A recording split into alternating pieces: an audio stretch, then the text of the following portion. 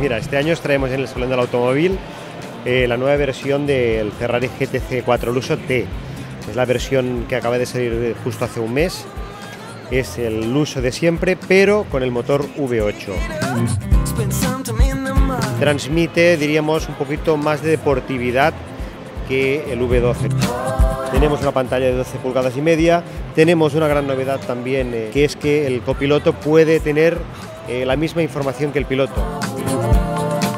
La marca a día de hoy está muy contenta, el aforo de público ha sido impresionante.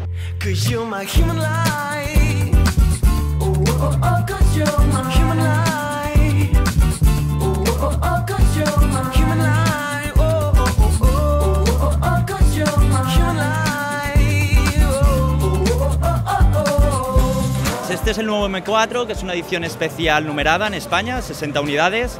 Es una edición que lleva un paquete competición con 450 caballos con diferentes opcionales, entre ellos pues, toda la parte de fibra de carbono y frenos específicos de carbono.